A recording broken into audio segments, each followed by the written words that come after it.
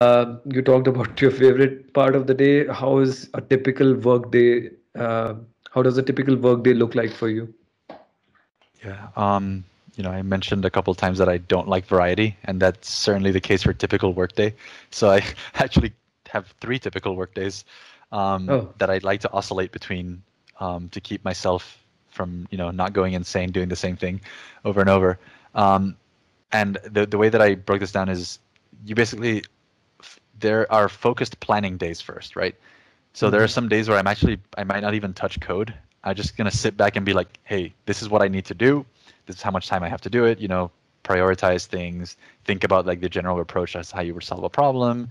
Do a little yeah. bit of investigation, and that goes a long way. Um, not only does it recharge your brain from just like coding incessantly, um, but from my especially from like my marketing days, I've like firsthand learned the value of like do, like planning well and then executing. It actually works. Mm. Um, okay. And it, it's a worthwhile investment. So I'll have days where I just plan. Then I have days where I just code. Like I've come up with a plan. I've driven myself crazy just looking at a Word document, and I really want to program now. So let's just get that done. Um, you know, open up open up your your code editor, um, try things out in simulation, like really really just go deep into a problem. And then there would be the kind of the more uh, focused experimental or robot days, and that, this is specific to the robotics world, right? Um, again, I, I do like I do like programming from home, and relying on simulation, just kind of sitting at home drinking my coffee, whatever. Then when it's time to go to the office, I kind of have things ready to go. Like if I want to test things out, you know, like schedule time, schedule focused experiments.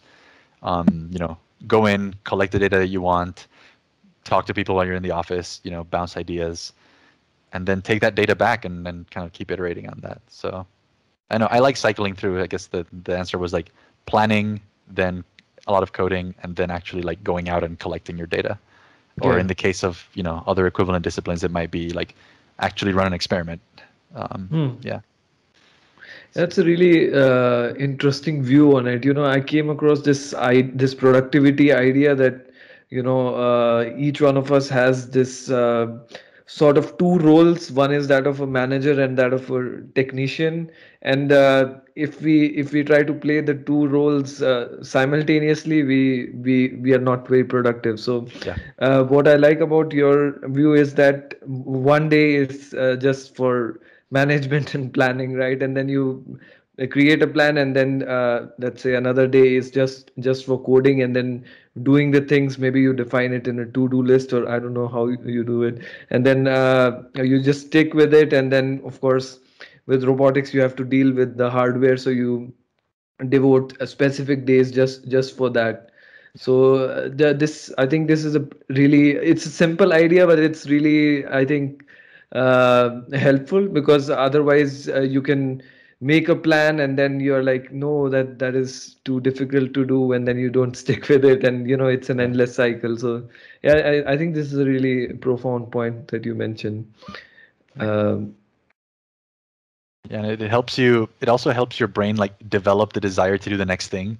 Like if you yeah. if you take if you take a whole day to like not even touch code and you and you need to do it, then you'll you'll wake up the next being like, oh my god, like I need to start writing this. um, doesn't really happen if you're like doing it twenty four seven. Ah yeah yeah yeah yeah. yeah oh, so. uh, that's also like so because for example, you you like coding and then if you if you say that okay one or two days I'm focusing on other things and then you would be excited to go back to programming. That, that's cool.